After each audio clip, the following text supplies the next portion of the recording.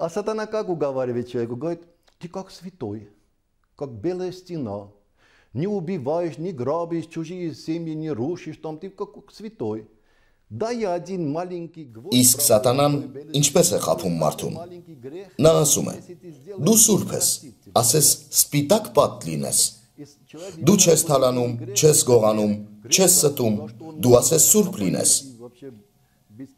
Բեր մի փոքրիկ մեղ խփեմ քո պատին։ Մի փոքրիկ մեղքի համար Աստված քեզ կների։ Եվ այսպես մարդն ընտրում է իր սիրած մեղքը, եւ սատանան այդ մեղը խփում է սպիտակ պատին։ Այդ մեղը խրվում է մարդու մի որևէ օրգանի մեջ, եւ այդտեղից էլ սկսում է հիվանդությունը։ Եվ որ เป զի բուժել այդ հիվանդությունը, հարկավոր է այդ մեղը հանել։ Հենց դրա համար էլ խնդրում ենք մեղքերի թողություն։ Եթե կա հիվանդություն, ուրեմն մեղքի պատճառով է։ Եթե մարդը մեղքերի թողություն խնդրի եւ փոխի իր կյանքը, ուրեմն կբուժվի։ Եթե մարդու նյարդերը տեղի են տալիս, ուրեմն նա հոգևոր կրթություն չունի։ Աստված ասում է.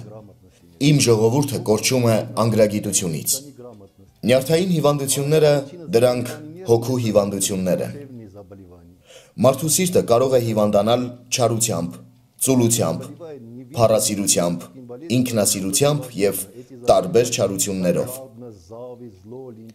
Մինչև մարդը չճանաչի իր փրկչին, նրա հոգին հանգիստ չի կարող լինել։ Ինչքան ուզում ես մարմինդ կերակրիր, հագցրու։ Միևնույն է, այն հող է դառնալու։